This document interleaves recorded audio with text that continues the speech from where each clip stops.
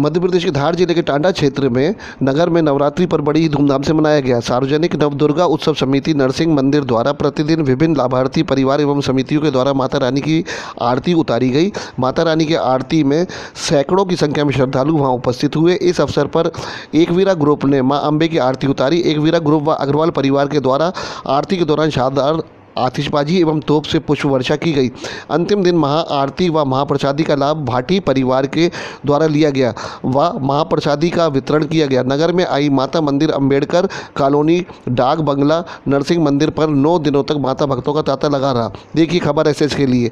हमारे संवाददाता सौरभ सक्सेना की धार से एक रिपोर्ट।